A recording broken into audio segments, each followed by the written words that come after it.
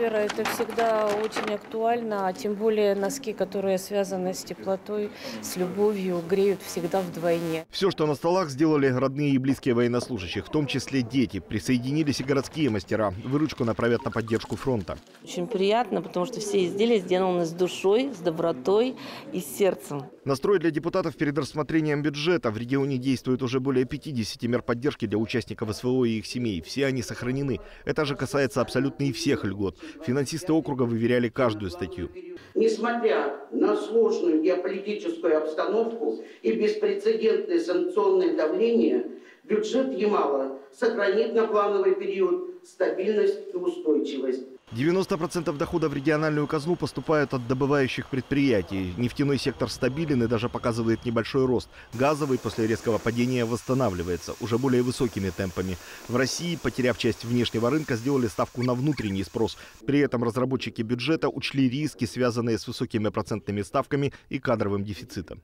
Эти предпосылки учтены в процессе разработки представленного прогноза социально-экономического развития и считаю его реалистичным. Главный финансовый документ, который представили депутатам в куларах, уже окрестили бюджетом стабильности. Доходы региональной части на следующий год составят 343 миллиарда рублей, при этом дефицит 42 миллиарда. В этой части заложены второстепенные расходы на случай, если в течение года поступят дополнительные средства. Все моменты, которые ну, отражены сегодня в бюджете, они на самом деле направлены на сохранение вот того развития, которое у нас идет э, в автономном округе. При этом бюджет остается социально ориентированным. Так, программу льготных перелетов для детей из многодетных семей сохранят. Цена билета останется прежней – 2500 рублей.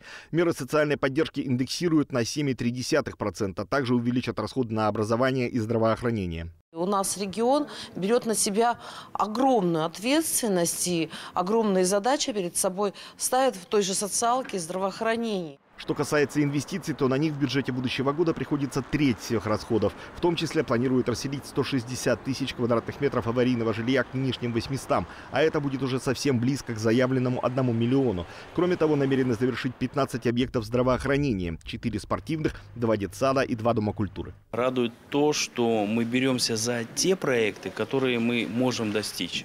Это важно, что мы доводим все до конца. И бюджет на сегодняшний момент в этом отношении очень крепок и обеспечен. Все, а, что, на что мы делали акцент, это жилье, дороги, здравоохранение, безопасность наших граждан.